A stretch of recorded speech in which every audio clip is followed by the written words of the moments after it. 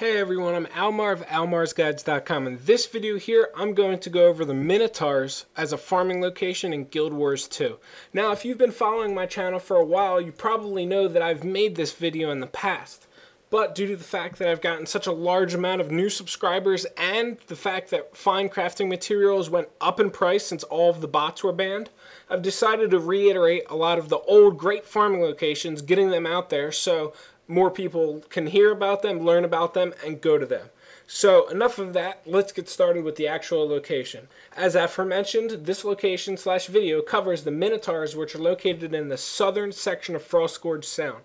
They're located in around the middle area of Frostgorge Sound and they can the closest waypoint to reaching them is just north of the Arundon waypoint which is the southernmost waypoint in Frostgorge Sound. These uh, Minotaurs drop Vial of Potent Blood, which is the main item we're going to be farming from them, and also are extremely easy to get to, which, like I said, are just north of the Arundon waypoint.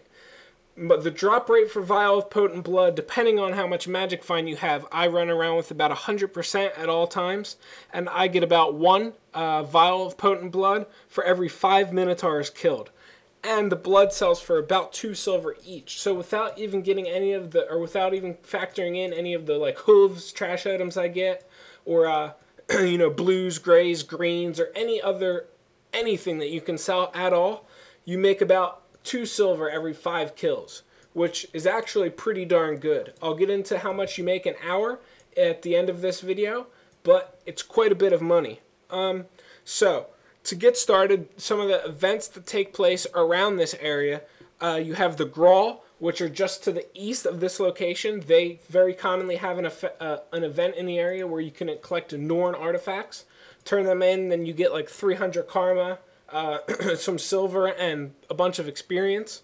And then you also have the Caravan Escort, which spawns immediately after killing all of the, uh, or gathering the artifacts from the Grawl area. You have to escort this caravan to Yak's Bend, which is just a little bit to the north. Extremely easy event to do, and uh, just as profitable as collecting the artifacts. And then there's two other events that take place to the west at Coiled Watch. One, you have to retake the town from the Sons of Svanir that attacked it and took it.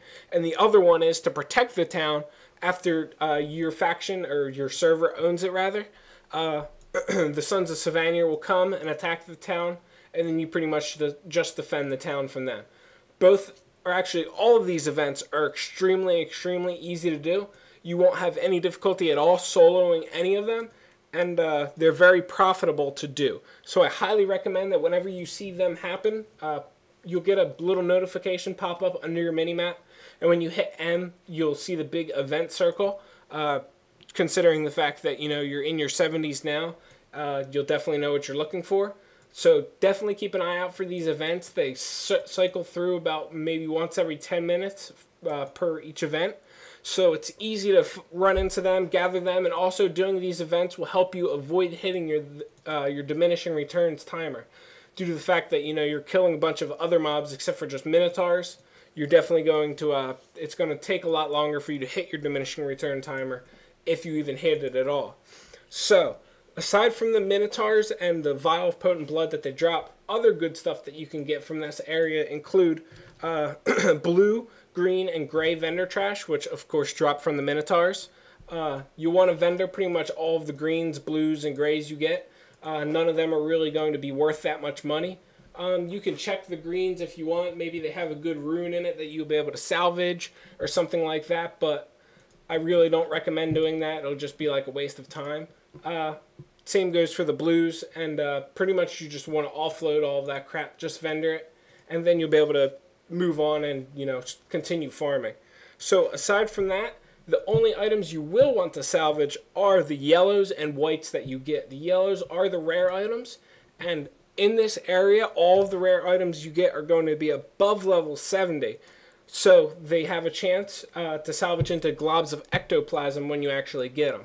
Now, you want to use the highest possible uh, quality salvage kit you can, which is Master Salvage Kit, depending on what level you are. Uh, or you can get the Black Lion Salvage Kit, which uh, you get from completing the daily sometimes, or you can buy it from the gem store. Uh, that has the highest chance of giving you globs of ectoplasm and is the main thing that I highly recommend you do use for uh, getting the globs of ectoplasm. Whereas uh, the white items that you get from this same exact area, you want to uh, use a low-end salvage kit on the white items. Uh, I recommend a basic or crude salvage kit, um, especially because uh, you know there are no rare components you can get from salvaging the white items. You might think that the orichalcum uh, is a rare component from salvaging the white items, but it isn't. It's just a component, and you can get it just as commonly as uh, you would using a master salvage kit if you use the crude or basic salvage kit on the item that you're attempting to salvage. Aside from that, there are a few different gatherables in this area. It's not uncommon to see uh, elder wood logs uh, growing in the area. Um, mithril ore is very common throughout the area, and snow truffles, which uh, are one of the cooking gatherables, is not uncommon at all to see in this area. Uh, you want to stop and gather each of them if you see them. The snow truffles are the most valuable items, uh, most valuable gatherable that is in the area. Um, of course, they're uncommon, so you'll definitely want to keep your eye out if you see them. Um, pretty easy to spot. You know, it's the little leaf thing on the map. map. Probably know what you're looking for by uh, this level. Um, and speaking of level, as it's pretty already obvious, you want to be at least level 75 plus before farming at this location.